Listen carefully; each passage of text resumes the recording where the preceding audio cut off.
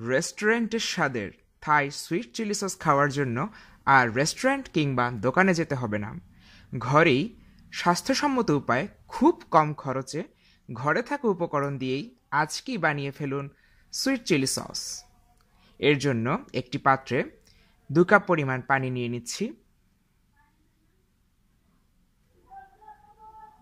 এবার এতে দিয়ে দিব তিনটি শুকনো মরিচ। আপনাদের কাছে যদি চিলি ফ্লেক্স থাকে, তাহলে চিলি ফ্লেক্স দিতে পারবেন।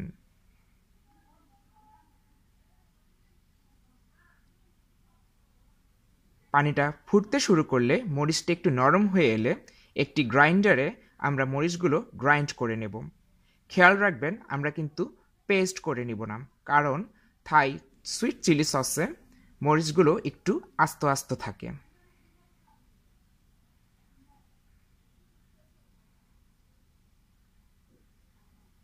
মরিচ এবং মরিচের বীজ দুটোই আমরা এই সসে রেখে দেব।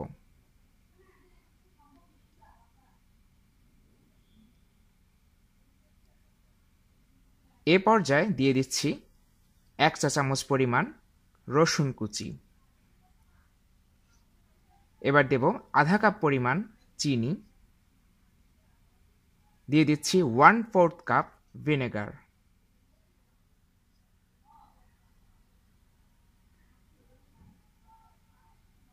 এবার চিনি এবং ভিনেগারগুলো ভালো করে মিশিয়ে নেব। দিয়ে দিচ্ছি এক চিমটি পরিমাণ লবণ।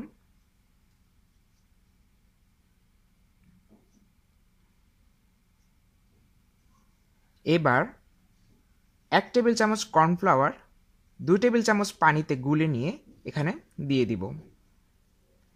এই কর্নফ্লাওয়ারটা দেওয়ার ফলে সসটা একটি গাঢ় ঘন সসে পরিণত হবে। তবে প্রিয় দর্শক, খেয়াল রাখবেন, খুব ঘন যেন না হয়ে যায়। থাই সুইট চিলি সসটা কিছুটা পাতলা ধরনের থাকে এবং এটা যখন ঠান্ডা হয়ে যায়, তখন আরও কিছুটা ঘন হয়ে যায়। সসটা যখন জেলো টাইপ কিংবা কিছুটা আঠালো হয়ে আসবে, তখনই আমরা এটা নামিয়ে নেব। আপনারা একটি চামচের সাহায্যে এর ঘনত্বটা দেখে নিতে পারেন।